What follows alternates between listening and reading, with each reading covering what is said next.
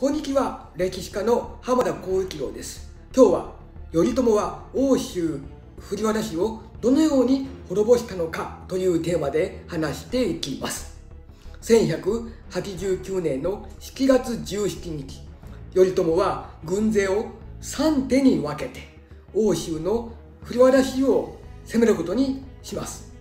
東海道の大将軍として騎馬常種八田智家。北陸道の大将軍には比企義和そして宇佐美実政が最後に大手の大将軍には頼朝がついて欧州に向けて進軍することになるんです。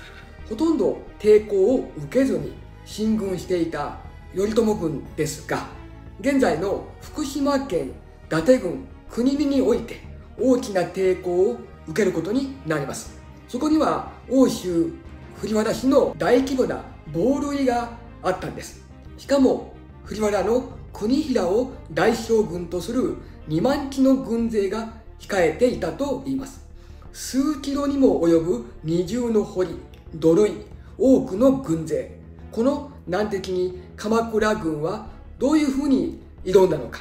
まず8月の7日畠山重忠率いる部隊80人が桑や隙で石や月を運んで堀を埋めてしまいます。その後、鎌倉軍と国平軍の軍勢の間には激戦が展開されますが、鎌倉軍の猛攻もあって、8月10日には国平は出羽方面に向けて敗走、防御線を突破されたという知らせを聞いた藤原の安平は平泉にこもることはせず陸奥の国の奥地に逃亡頼朝軍はやすやすと平泉に入ることになるんです。8月の26日には安平からの命乞いの書状が頼朝に届きますが頼朝はそれを無視。彼はあくまで安平の命を狙って進軍するんです。ちなみに安平は御家人となるか。死罪を免じられて流罪になることを望んだようです。哀れ安平は家臣の川田義堂に撃たれてしまいます。9月の3日頼朝のもとに安平の首が届けられました。川田義堂は頼朝からの恩賞を期待したかもしれませんが暗に相違して主君を撃った。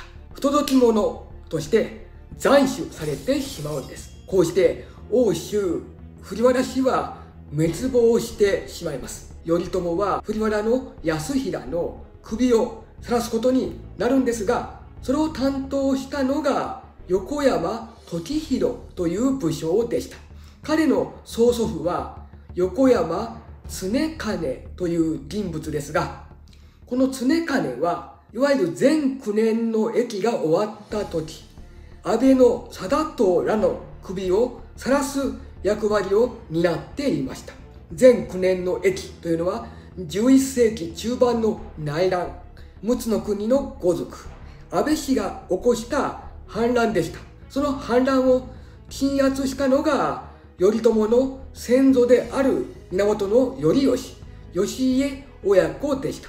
今回の欧州征伐において首の受け取りや晒し首などもこの全9年の駅の時の担当者の子孫が担うことになったんです。大規模な軍勢動員。全9年の駅を思い出させる行い。こういったことを考えると欧州合戦は頼朝にとって大規模な政治的パフォーマンスの場でもあったことになります。頼朝はそのパフォーマンスによって東国武士団との主従関係をさらに強くして源頼義の子孫である自らの権威をさらに増大させようと目論んだんではないでしょうか。今日は頼朝は欧州藤原氏をどのように滅ぼしたのかというテーマで話してきました。以上 YouTube 歴史塾浜田光一郎でした。